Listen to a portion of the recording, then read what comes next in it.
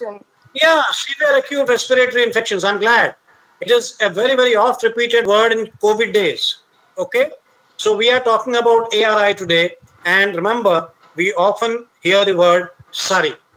Inflammation of respiratory tract anywhere from the nose to the alveolus is called as ARI. Remember, whenever you start a, a, an answer, always define. Okay? There is something called as AURI and there's something called as LURI. Generally, SARI is associated with LURI. That is the lower uh, uh, respiratory tract infection. Acute upper respiratory tract infection and lower respiratory. I don't know why you. I don't know. It should be LRI. Okay. Running nose, cough, sore throat, diff- difficulty in breathing, ear aches. Many a time when we get a, a, a cough, the ear also aches. Fever is common, commonly a mild but a very, very off, off, off scene infection in children. Some may develop severity and even die. Remember, all of you will see ARI cases when you start practicing as an intern or as a medical officer. Therefore, it's a very, very commonly seen. It should be diagnosed and you should initiate prompt treatment, which is simple. And therefore, you may prevent a child from death also. It may sound very, very simple, ARI, but it can cause a child to die. Measles and pertussis are important causes of ARI in developing nations. Both the lessons have been covered in your case. It's a problem across Southeast Asia, all across India, Indonesia, Nepal, Bangladesh, Pakistan, all the countries all around. 40% of global mortality is seen in this developing part of the world. 90% of ARI deaths are due to pneumonia, malnutrition, low birth weight, indoor pollution. They are additional risk factors. Under fives have about five attacks per year on an average. I'm not talking about you and me. We are slightly, you know, privileged, having come from a, a fairly okay socioeconomic background. I'm talking about those who are staying in the rural areas with less of hygiene, malnutrition, low birth weight babies, and under fives who are uh, not immunized properly. So they are uh, they are prone to about four to five attacks per year. Major cause of hospital admissions in India, causing about 13% of inpatient pediatric deaths. We talked about the deaths in SARS, but we never talk about deaths in tuberculosis, ARI, diarrhea, very, very common diseases which are killing equally a large number of people in countries like ours. Indicators to assess correct management well, inappropriate antibiotic, not prescribing any antibiotic, respiratory rate counted or not counted, chest indrawing check or not check, correct home care. So these are the indicators. I'll tell you more about them. Agent factors, there are numerous agents causing AR, starting from bacteria, viruses, others. Bacteria, we have we have talked about the pertussis one last time, corynebacterium diphtheria, Haemophilus influenzae, Klebsiella pneumonia, pneumophila, staph pyogenes, streptococcus pyogenes, viruses are adeno, entero, coxsackie, echovirus, influenza, measles, suburbs. We have got chlamydia, coxiella burnetii, and we have got mycobacterium pneumonia causing yeah. small children and elderly both can be affected but generally we are talking about the under five rates of meningitis and otitis media increase to peak at about five years of age. Adult illness, except you know some severe illnesses in men, it's generally uh, it's generally mild.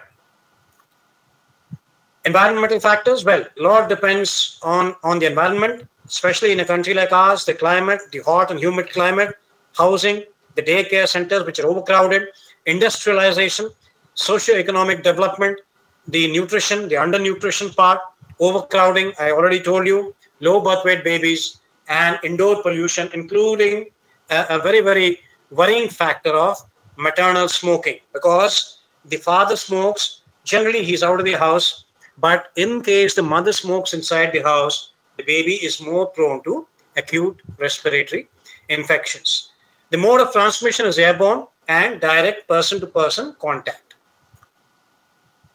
Clinical assessment we assess the age, the duration, we assess the patient by asking his age, duration of the of the of the uh, of the symptoms, feeding, whether he's breastfeeding or he's feeding otherwise, any antecedent illnesses, fever, drowsiness, convulsions, breathing pattern, any cyanosis present, and in case they have taken some treatment somewhere. Physical examination, please remember this is the most important part of the uh, diagnosis is respiratory rate per minute. All of you, when you are back in the wards, you must check respiratory rates in, in normal or diseased children. You must ask the pediatrician as to how to check, how to go down to a level and check the respiratory rate, how to count it. Sounds very simple, but when it comes to the exam, when it comes to the diagnosis, you got to be very, very specific and accurate.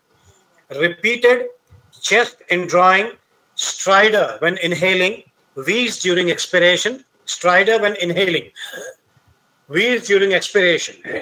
Okay, drowsiness, the, the basal body temperature, malnutrition, and cyanosis. These are the more important things that you check.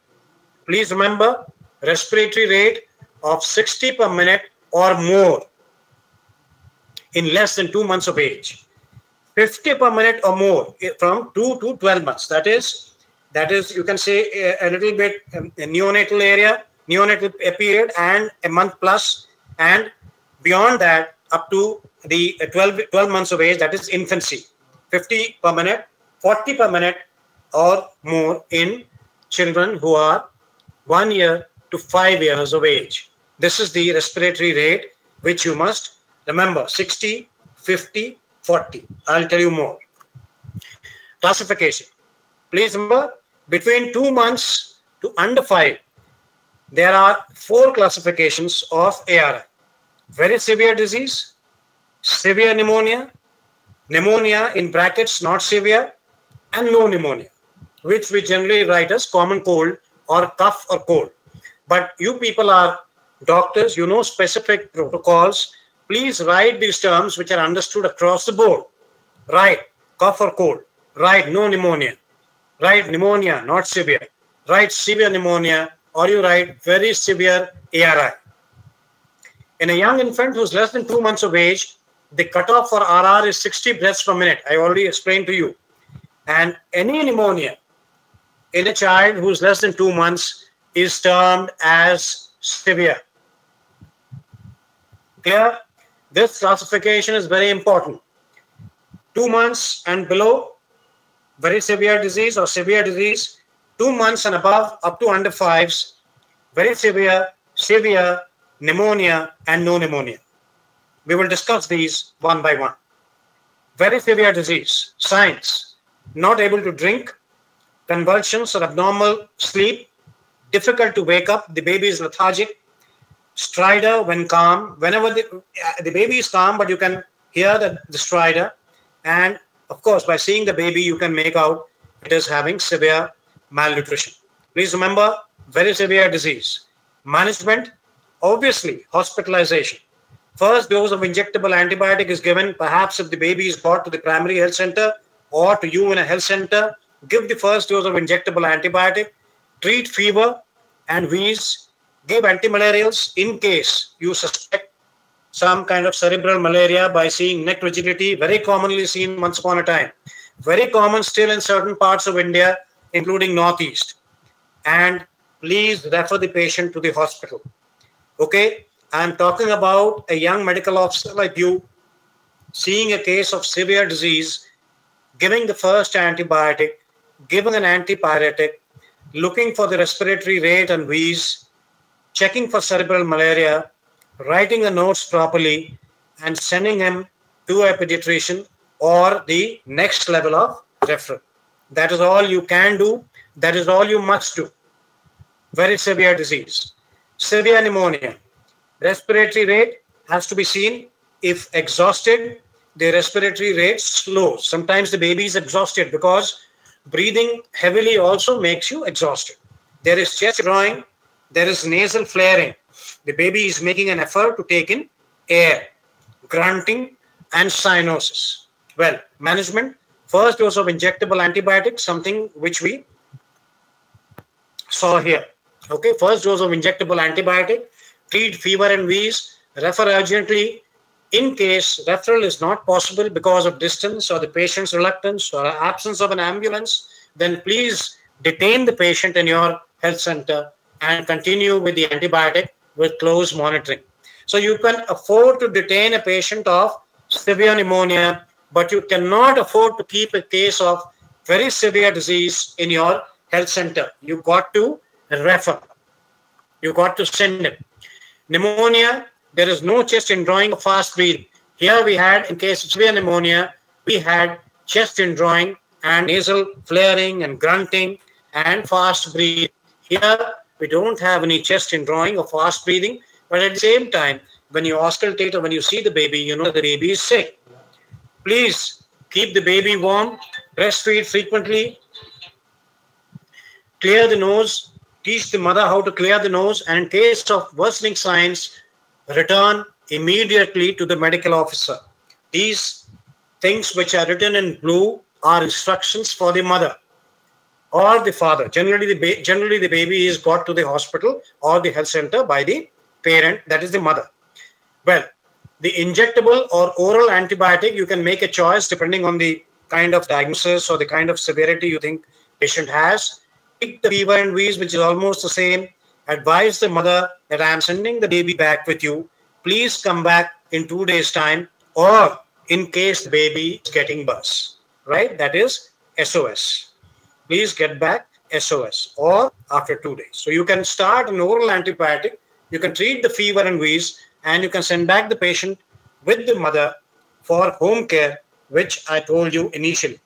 Breastfeeding and normal feeding should continue keep the infant warm, clear the nose. Many a child will have a blocked nose, you know, they can't breathe.